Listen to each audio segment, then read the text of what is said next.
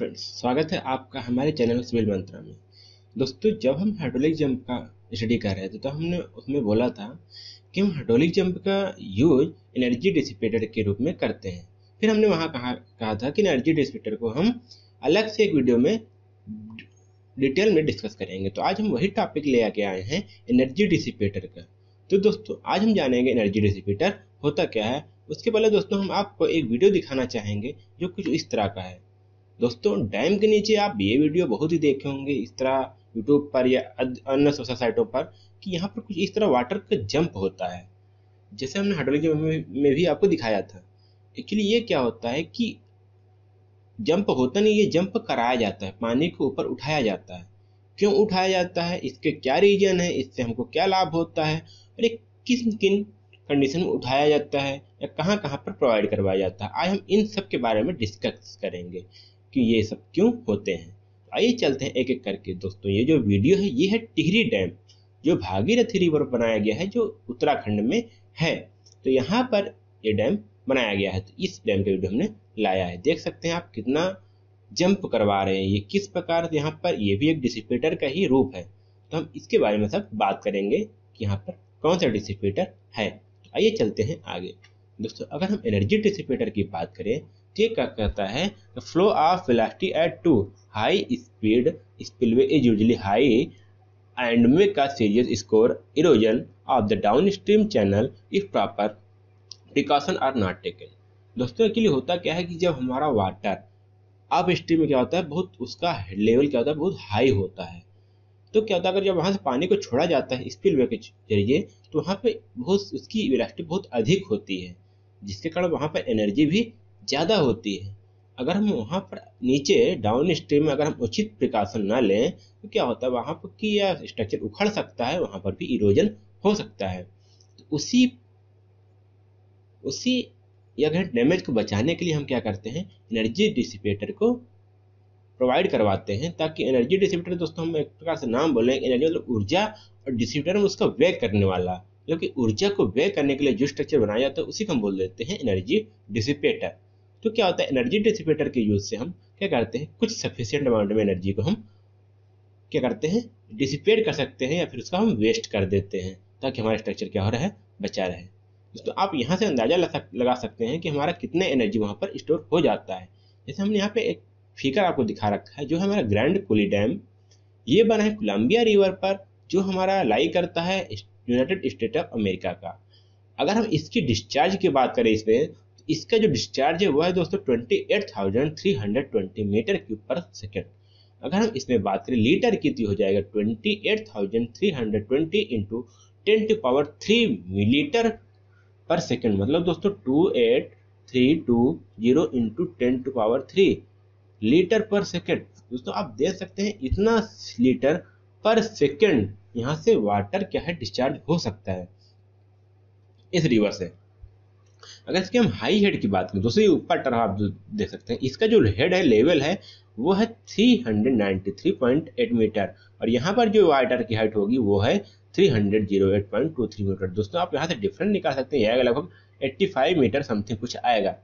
तो इसी को हम बोलते हैं यहाँ पे एच अगर हम इसके एनर्जी की बात करें एनर्जी एट टू तो इस फॉर्मूले को हम रख करके इसकी एनर्जी निकाल लेंगे, जो है rho g Q into H तो दोस्तों, जो आता है एनर्जी वो आता है ट्वेंटी थ्री गीगावाट इसको आप समझने के लिए आप देखिए गूगल करिए कि आपके एरिया में कितनी इलेक्ट्रिसिटी सप्लाई हो रही है। अब वहाँ से निकाल सकते हैं कि कितना गुना हो सकता है ये वाली एनर्जी इस एनर्जी से क्या होता है? दोस्तों, ये क्या होती है? काइनेटिक एनर्जी होती है, जिसके कारण अगर नीचे का स्ट्रक्चर हमारा क्या होता है? उसमें डैमेज हो सकता है। इसलिए यहाँ पे इसी एनर्जी को हम कम करते हैं एनर्जी डिसिपेटर के प्रयोग से। तो आइए अब हम चलते हैं आगे। तो यहाँ पर हमारे पास कुछ टाइप्स हैं एनर्जी डिसिपेटर के।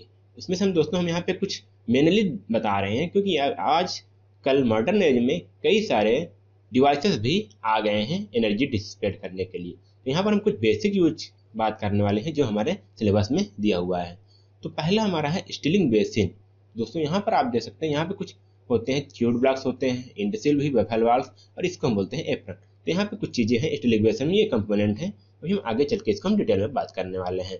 दूसरा है हमारा फ्लिप बकेट दोस्तों ये वाला होता है हमारा फ्लिप बकेट इसमें हम क्या करते हैं? वाटर को फ्लिप करके एक हाइड्रोलिक जंप आकर करवाते हैं। फिर आता है दोस्तों रोलर बकेट आप ये फिगर देखिए हमारा है रोलर बकेट का।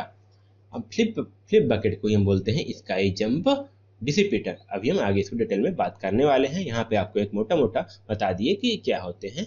टाइप्स ऑफ़ एनर्जी डिसिपेटर आइए अब हम चलते हैं, बात करते हैं डिटेल में स्टीलिक बेसिन का। तो दोस्तों, यहाँ पर जो इसका यूज़ है, वो होता है जब hydraulic jump is use for energy dissipation यदि हम हाइड्रोलिक जंप का यूज़ एनर्जी डिसिपेटर के रूप में करने वाले हैं तो हम स्टीलिक बेसिन का यूज़ करते हैं। अगर हम स्टीलिक बेसिन को अगर हिंदी में बात करें तो होता है शांत बेसिन मतलब कि ऐसा जलकुंड या ऐसा चीज़ जो वाटर को क्या करते हैं, बिल्कुल शांत या स्थिर कर दे। इस प्रकार जो स्ट्रक्चर बनाते हैं उसको बोलते हैं स्टीलिंग बेसिन तो यहाँ पर अगर इसका यूज़ हम तभी करते हैं जब हमारा हेड क्या हो लेस देन 50 मीटर हो दोस्तों, जो हमारा, ये कहें कि डाउन स्ट्रीम से अप स्ट्रीम का जो डिफरेंस है, वो 50 मीटर से कम हो, तभी हम इसका यूज़ करते हैं। क्योंकि जब इसका हेड अधिक हो जाता है तो वहाँ पर हमारा एक कैविटेशन प्रॉब्लम है, जो आप पढ़े होंगे डिटेल में, वो कैविटेशन प्रॉब्लम यहाँ पर आ जाती है। तो इस प्रकार वहाँ पे हम ये स्टेलिंग बेसिन प्रोवाइड नहीं करवाते। और यहाँ पर क्या होता है कि हाइड्रोलिक जंप के लिए यहाँ पर एक नीचे यहाँ पर एक एप्रन प्रोवाइड करते हैं दोस्तों। ये वाला जो स्ट्रक्चर है, इसको हम बोलते हैं एप्रन जो हमको नीचे के इरोजन स्कोरिंग को बचाता है। कंक्रीट का होता है दोस्तों तो यहाँ पर हमको एक एप्रन प्रोवाइड करना होता है। तो यहाँ पर कुछ और कंपोनेंट है। आइए इसको भी बात कर लेते हैं क्या क्या है। अगर हम बात करें चूड ब्लॉक्स की, दोस्तों चूड ब्लॉक्स का होता है serrate the flow entering the basin and lift up part of the jet क्या करता है? यहाँ पर दोस्तों जो देखिए, जब यहाँ पानी करेगा तो यहाँ पे कुछ जेट को क्या करेगा, लिफ्ट कर देगा और कुछ को इस तरफ़ चला आने देगा। तो क्या होता है जो एनर्जी को क्या करता है या फिर कहें, फ्लो है, उसको क्या करता है, बिखेर देता है। एक तरफ़ से ना करके उसको बिखराव कर देता है, ताकि यहाँ पे एनर्जी एक तरफ़ से ना आए। और क्या होता है this produce more energy increasing energy dissipation हमको पता है जब एडीज प्रोड्यूस होते हैं तो वहाँ पर क्या होता है एनर्जी का डिसिपेशन होता है। तो इसका यहाँ पर एडीज भी हो जाते हैं, ये एडीज को प्रोवाइड कराता है प्रोड्यूस करवाता है ताकि हमारा एनर्जी डिसिपेशन बढ़ जाए। और क्या करवाता है? अब दोस्तों, यहाँ पर जब बढ़ेगा, उछाल मारेगा तो क्या होगा? यहाँ पर इसका लेंथ क्या होगा? हाइड्रोलिक जंप का क्या हो जाएगा? घट जाएगा। ये भी एक फ़ायदा होता है। The tendency of the jump to sweep out of the basin is reduced जो इसका स्वीप आउट करने में उखाड़ने का या फिर जहाँ पर कुछ उखड़ने का, इसकी जो टेंडेंसी है वो घट जाती है। यहाँ पर ये फ़ायदे होते हैं हमारे च्यूड ब्लॉक्स के दोस्तों, आप ध्यान दीजिएगा, आपको आ सकता है एग्ज़ाम में भी। अब बात करते हैं बफल ब्लॉक को। दोस्तों, ये हमारा होता है बफल ब्लॉक जो आप यहाँ पर देख रहे हैं। इसकी बात करते हैं, ये क्या करता है जंप को स्टेबलाइज करता है और dissipate energy due to impact जब यहाँ पर वाटर इम्पैक्ट करता है, तब वहाँ से ये एनर्जी को डिसिपेट करता है। और यहाँ पर एक चीज़ और बात करनी है जो स्पेसिंग होती है, इसकी भी अगर हम बात करें क्योंकि दोस्तों ये भी डिज़ाइनिंग में काम देता है कहीं कहीं या फिर एग्ज़ाम में पूछ ही लेता है। तो अगर डिसिपेट ये इसकी स्पेसिंग की बात करें तो देखिए यहाँ पर इसकी भी विर्थ कुछ होगी। मानते है बे तो यहाँ पर जो स्पेसिंग होगी ये भी क्या होगी? Be equal to spacing equal to the width of विफल तो यहाँ पर इसका यूज़ ये होता है। लिस्ट इक्वल टू दोस्तों कम से कम इतना होना चाहिए, इससे ज़्यादा भी हो सकता है स्पेसिंग और ये तभी यूज़ किया जाता है जब हमारी वेलास्टिक क्या हो? Less than fifty meter per second हो। क्योंकि यहाँ पे ये, यहीं पे काम करता है। क्योंकि अगर इससे ज़्यादा होगा तो हो सकता है ये विलास्टमर क्या हो, इसको भी डैमेज कर दे। इस बार यहाँ पर बेफल वाल यूज़ किया जाता है। इसी को हम बेफल पीएस भी बोल देते हैं।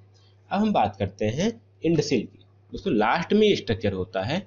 अब इसी को हम बोलते हैं इंडसिल तो इंडसिल क्या करता है? Mainly stabilize the jump and inhibits tendency of the jump to sweep out मतलब यहाँ पर हम क्या करते हैं? इसी सहायता से हम क्या करते हैं? हाइड्रोलिक जंप यहाँ पे प्रोड्यूस करवाते हैं। आप ये इतना मोटोटा समझ लीजिए। और क्या होता है कि सी पर जो टेंडेंसी है उसको इनिबिट कर देता है मतलब कम कर देता है। तो अब दोस्तों यहाँ पर ये सब बात होगी। अभी हमने आपको बताया यहाँ पर एप्रन यूज़ किया जाता है।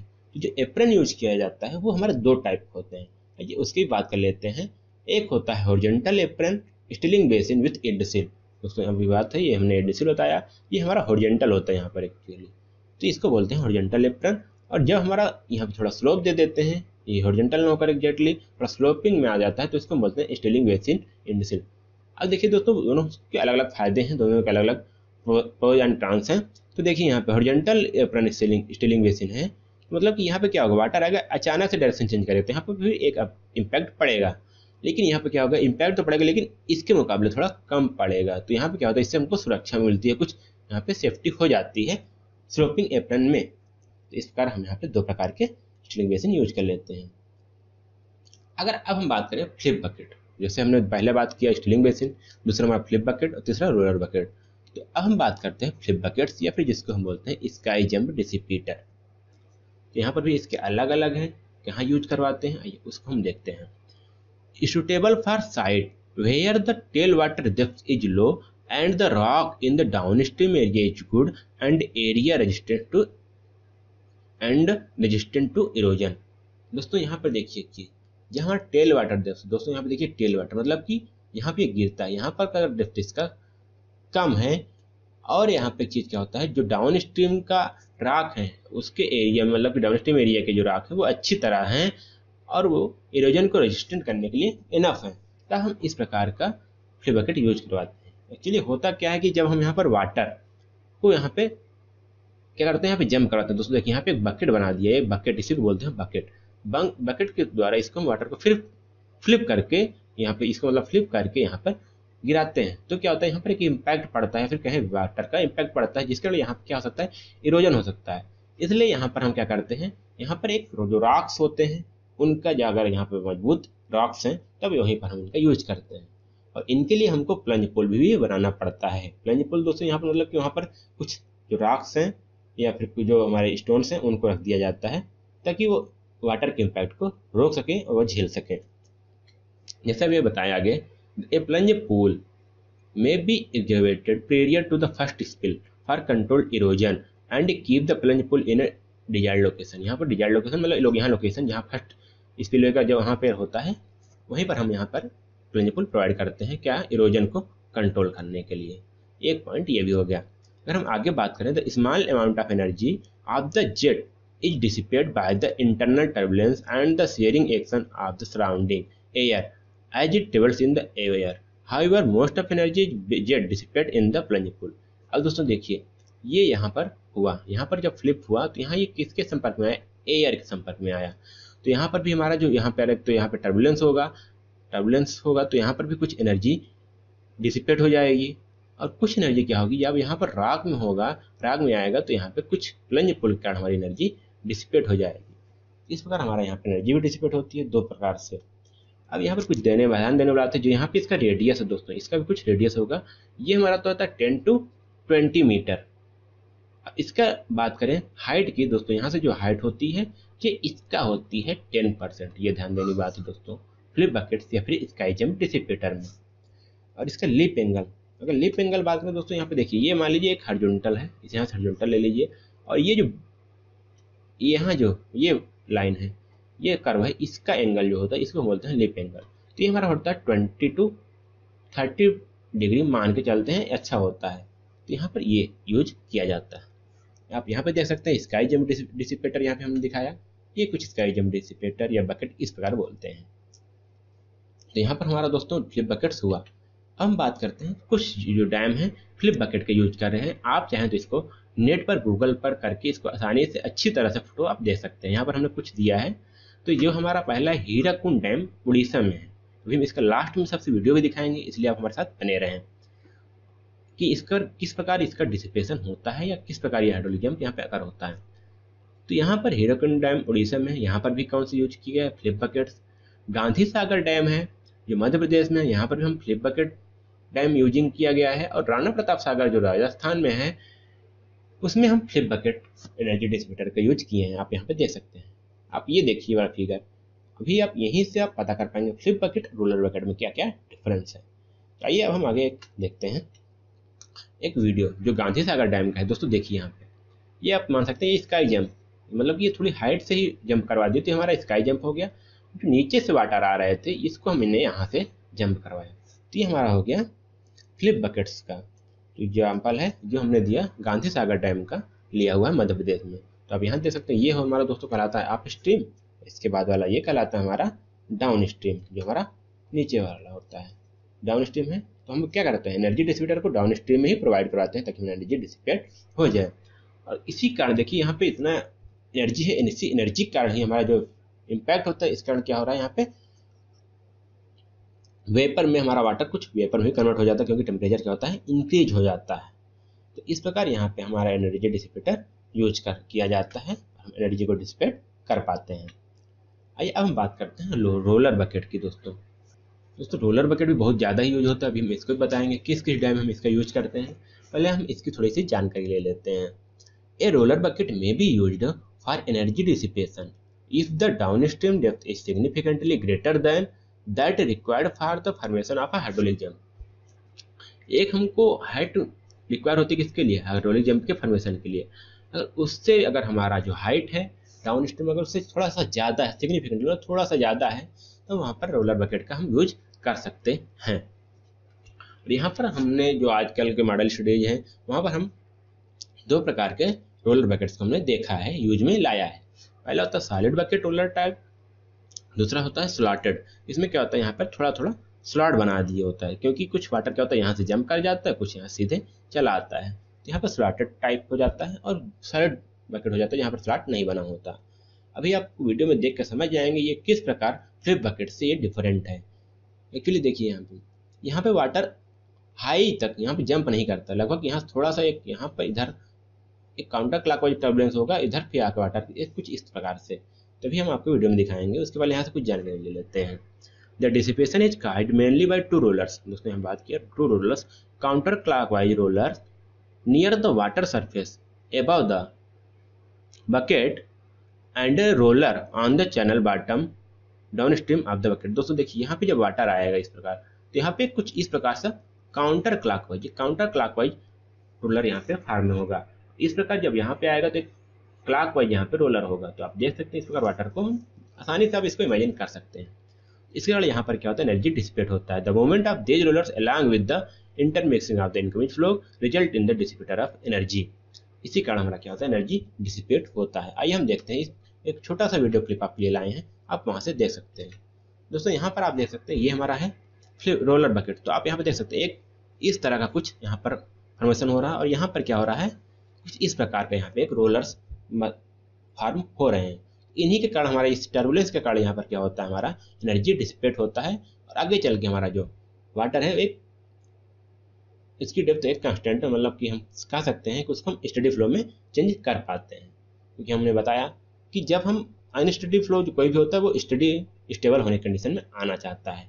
दोस्तों, यहाँ पर भी ये देख सकते हैं, आप एक्चुअली होता क्या कि यहाँ पे वाटर फिल है, इसलिए आप यहाँ पे देख नहीं पाते कि यहाँ पर काउंसलर दिया होता है। जब हमारा नीचे का डाउन सूख जाता है, तभी हम इसको देख पाते हैं। यहाँ पर कौन सा बकेट या डिसिपिटर यूज़ किया गया है। अब हम चलते हैं। यहाँ पे कुछ डैम हैं जो रोलर बकेट का यूज़ करते हैं। वो कौन कौन से हैं? एक है धुराई डैम जो हमारे साबरमती रिवर पर बनाया गया है। आप यहाँ से देख सकते हैं। फिर एक है कदाना डैम या फिर कहें माही रिवर पर बनाया गया है। तो आप यहाँ पे देख सकते हैं। अभी हमने आपको जब वीडियो दिखाया था तो वहाँ पे देख रहे थे आप कितना सारा, इतना लगभग जम करवा रहा था। मतलब कि जब फ्लिप बकेट में क्या होता है? वाटर ज़्यादा जंप करता है और यहाँ पर वाटर क्या होता है? कम जंप करता है इसमें रोलर बकेट में, क्योंकि यहाँ पे हमको जंप नहीं करवाना होता। क्योंकि ऐसे दो रोलर फार्म करने होते हैं, एक कौन सा? इस तरफ़ और दूसरा इस तरफ़। उससे हम क्या करते हैं? एनर्जी को डिसिपेट करते हैं। और एक हमारा है दमन गंगा डैम इसमें से हम भी क्या करते हैं? रोलर बकेट के यूज़ करके एनर्जी को डिसिपेट करते हैं। तो ये कुछ एग्ज़ाम्पल थे हमारे एनर्जी डिसिपेटर के। तो दोस्तों, अब हम बात करते हैं हीराकुंड डैम में, जो महानदी रिवर पर बनाया गया, जिसे हमने आपको बताया था, वहाँ पर उड़ीसा में है। तो अब इसका हम देखते हैं आप वीडियो। देखिए आप किस प्रकार गेट ओपन होता है और लास्ट में किस प्रकार का डिसिपेशन होता है। देखिए दोस्तों, यही हमारा है क्या? ये जो स्ट्रक्चर है, यही डिसिपेटर के लिए स्ट्रक्चर बनाया गया है। अब देखिए यहाँ पर क्या हुआ कि हमने गेट को ओपन किया। धीरे धीरे क्या होगा, ये हुआ अपना डिसिपेटर अपना काम करना स्टार्ट करेगा। यहाँ पर इसकी हाई वेलोसिटी बहुत ज़्यादा है, इसलिए हम यहाँ पर डिसिपेटर यूज़ करवाते हैं। देखते रहे दोस्तों, अभी आपको धीरे धीरे पता चलेगा अभी तो हमने एक गेट ओपन किया है। अब यहाँ पे धीरे धीरे कई सारे गेट ओपन करें। तो आप देखेंगे धीरे धीरे ये जंप हाई होता चला जाएगा, क्योंकि फ्लिप बकेट है दोस्तों। रोलर बकेट होता तो ये जंप कम रहता, लेकिन क्या है? हमारा दोस्तों ये है फ्लिप बकेट तो देखिए दोस्तों यहाँ यहाँ कितना सारा हाइट से वाटर जंप हो रहा है। आप इसको यूट्यूब पर जाकर के और अधिक वीडियो इसके देख सकते हैं। आप केवल डालना है सीधे से गेट ओपनिंग एट डैम आप डैम या जिस डैम का कोई चाहिए, वहाँ से आप देख देख सकते हैं। अधिक से अधिक वीडियो आप यहाँ पर ले सकते हैं। तो दोस्तों, अब हमें आज के लिए बस इतना ही। अगले वीडियो में हम बात करने वाले हैं सर्च और हमारे सिलर्टी जो हैं। तो आप हमारे साथ बने रहें। उसके लिए आप इस चैनल को सब्सक्राइब करना मत भूलिए। और आपका कोई भी सजेशन हो तो आप कमेंट बॉक्स में ज़रूर लिखें। Thank you